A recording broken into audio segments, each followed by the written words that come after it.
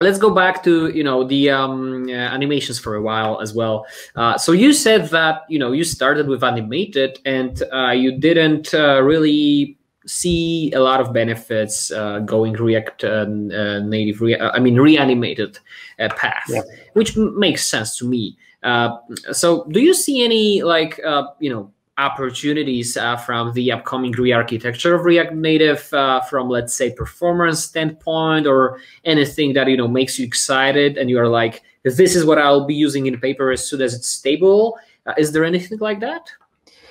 Um, so I'm really excited about this new re-architecture about turbo modules and Fabric. Uh, I think it will open a lot of new possibilities, uh, especially the turbo modules. I, I think they will not only improve the performance uh, yeah. our applications, but they will also allow us to build better, you know, component APIs.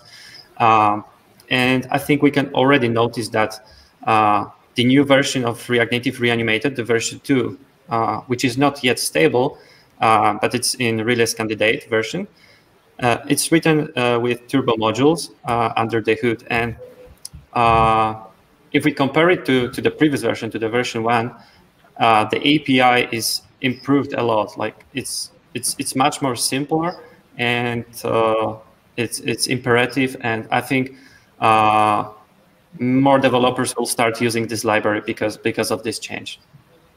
So yeah, yeah I agree that the the, the uh, turbo modules and Fabric will uh, open up a lot of new possibilities. Nice. So, you know, since uh, 064 RC1 has been just released, I mean, I don't know when we will publish this podcast, so this might be a few days ago or months ago, but um, that's probably something that uh, you might uh, want to try with paper at some point. Um, and in case it breaks, I'm here to help with any of the issues.